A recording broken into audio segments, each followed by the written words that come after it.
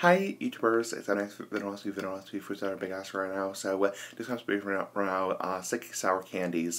So what are sicky sour candies? These are candies that are just too sour. Examples would be like uh, super sour Skittles, you know, like extra extra extra sour Skittles.